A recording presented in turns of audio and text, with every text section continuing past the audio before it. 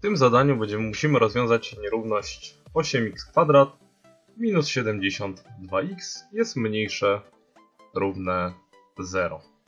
Tak, jak się za to zabrać? Możemy się za to zabrać na dwa różne sposoby. Albo możemy policzyć deltę standardowo, tak jak rozwiązujemy równania i nierówności kwadratowe, albo możemy to rozwiązać troszeczkę sprytniej. Jak widzicie, nie ma tutaj elementu bez x, tak? Czyli możemy sobie wyjąć x przed nawias, tak więc zróbmy.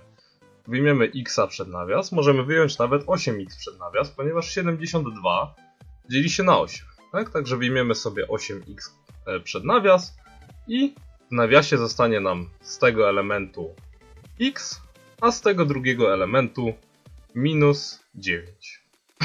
I to, co tutaj żeśmy wyjęli przed nawias, jest nadal mniejsze równe 0. I co teraz tutaj dostaliśmy? Tutaj dostaliśmy tak jakby e, postać iloczynową funkcji kwadratowej, tak? Przedstawioną w postaci e, a jako 8, x minus 0 i x minus 9. Wobec tego miejsca zerowe to 0 i 9. Tak? Narysujemy sobie wobec tego małą oś liczbową, żeby móc ocenić sobie, gdzie ta funkcja jest większa 0, mniejsza 0, tak jak zachowuje się tutaj ta parabola.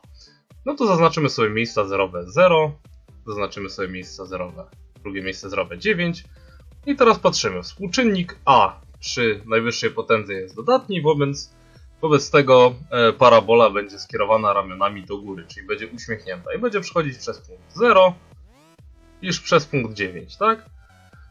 E, I teraz patrzymy.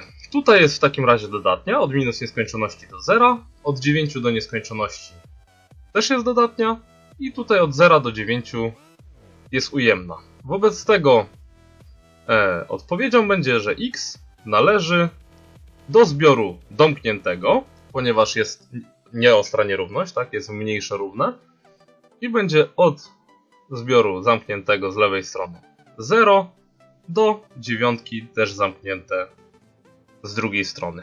I to jest odpowiedź na to zadanie.